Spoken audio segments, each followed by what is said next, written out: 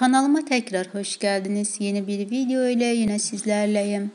Ünlü oyuncu Hande Soral'dan yepyeni muhteşem paylaşımlar geldi. Hande Soral aktif olduğu Instagram hesabından oğlu Ali'nin yeni fotoğraflarını paylaştı. Onun bu paylaşımları sosyal medyada çok beğenildi.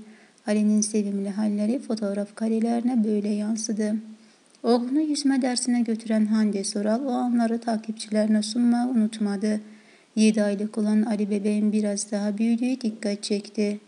Hatırlatayım ki güzel oyuncu Hande Soral 2017 yılında meslektaşı İsmail Demirci ile nikah masasına oturmuştu. Çift Mayıs ayında oğulları Ali'ye kavuştu. Biz de bu güzel aileye en iyi dileklerimizi sunar ve karşıdan gelen yeni yıl bayramlarını kutlarız. Değerli izleyiciler videomu beğendiyseniz lütfen kanalıma abone olmayı ve takipte kalmayı unutmayın. Bildirim butonunu açık tutarak yeni videolarımdan haberdar olabilirsiniz. Beğeni ve yorumlarınızı bekliyorum. Hoşçakalın. Size iyi seyirler.